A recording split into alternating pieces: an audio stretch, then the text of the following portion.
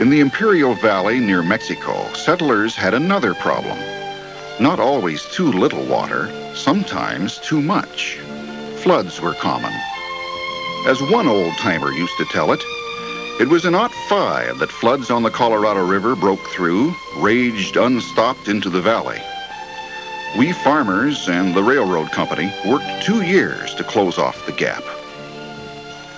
And a huge lake, the Salton Sea, was formed. But the farmers wanted no more floods. Asking reclamation for help to build a dam to tame the Colorado, the farmers promised to pay their share of the costs. And reclamation began to build what is now Hoover Dam.